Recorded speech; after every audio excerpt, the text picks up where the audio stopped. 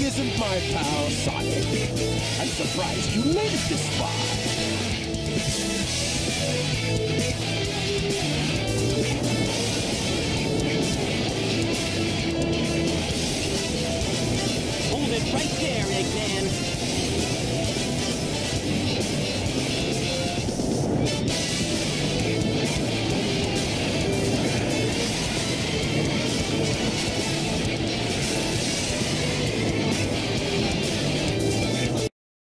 And so, we are at Sonic's final boss, the infamous Egg Viper.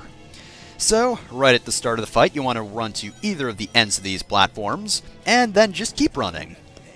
Because, yeah, Robotnik's laser attack is pretty quick.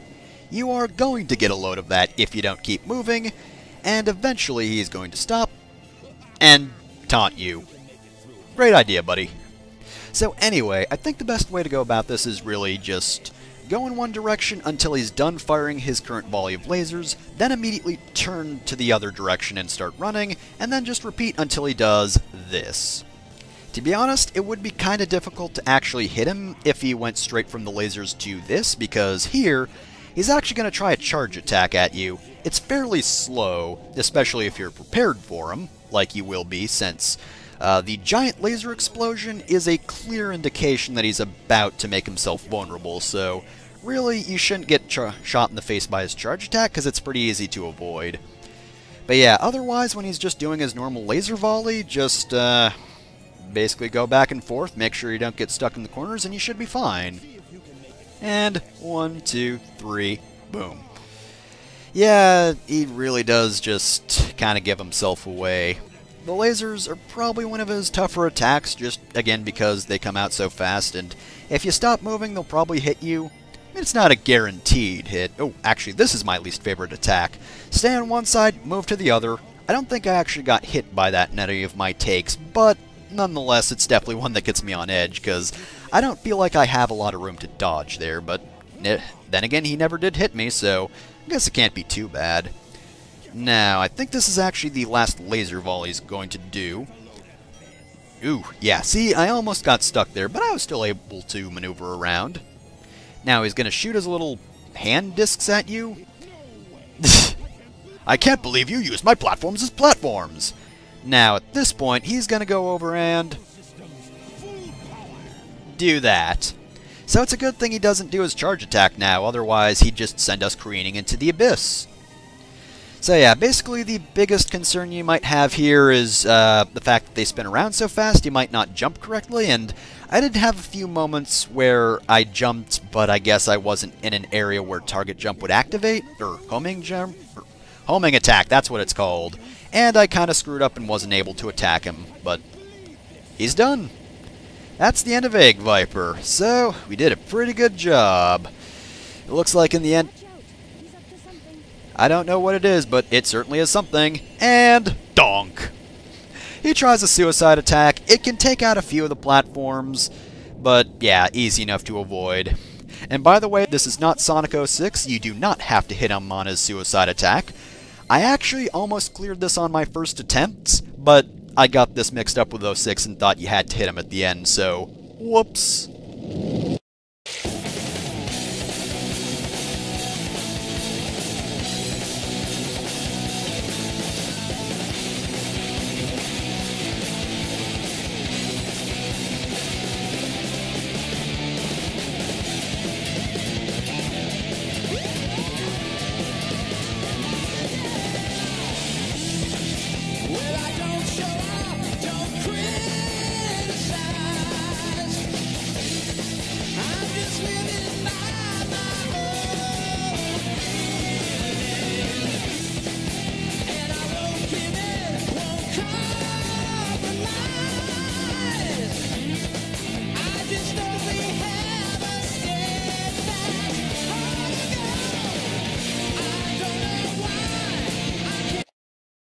And that's the end of Sonic's story. Not too terribly much to say about it. It is the most basic gameplay style.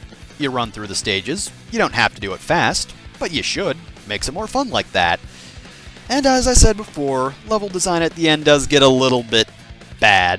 Uh, Skydeck and Lost World are pretty much the worst cases, and to be honest, 2 out of the 10 stages isn't too bad. Because Final Egg was actually pretty good, other than that first section, and to be fair, this is actually pretty nice because they do try to offer gameplay changes.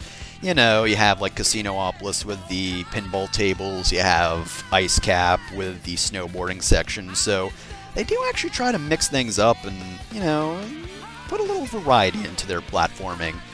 I appreciate that. It's not like any huge gimmicks, but, you know, the subtle gimmicks can be pretty good as well. Uh, overall, I like all the level aesthetics. I don't quite know if I'd say they're as strong as the 2D games, but they are pretty close. I mean, in fairness, I do love Sonic 2, and I really love Sonic 3, so it's hard to compete with those, but, you know, Sonic Adventure, I'd, I'd say it also has some pretty good ones as well. I mean, I'd also say Sonic Adventure is my second favorite 3D Sonic game. Well, second or third, but it's up there. And I've found myself saying this a lot lately, but maybe that's not really an indication of this game's quality, more so the lower quality of the rest of the series, but nonetheless, despite how janky this thing is, I still love it so much. I mean, I'm kind of getting more into Sonic Adventure general now, so I'll kind of rein it in and just finish up with Sonic. Uh, I don't really have much else to say about him. He gets fastest thing alive out of Blue Hedgehog. Great score, great score, but yeah, fun to play as, definitely the most fun stages in the game. Not to say I'm not looking forward to the future, with a few exceptions, but you know, Sonic is the most basic, and this is the game where they actually understood you wanted to play as Sonic. He has the most stages, they're all pretty fun, so you play as Sonic a lot in this. So, all in all, Sonic story, fun. So, I guess that wraps it up for that. Next time on Sonic Adventure, we're going to be going to the second story. And, obviously enough, it is the story of our good old buddy Miles Tails Prower. What was he doing when he wasn't hanging out with Sonic?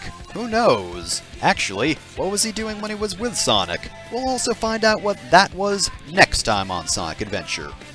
That was a little redundant, but you know, next time we'll be doing Tail Story. That's what I'm trying to get at.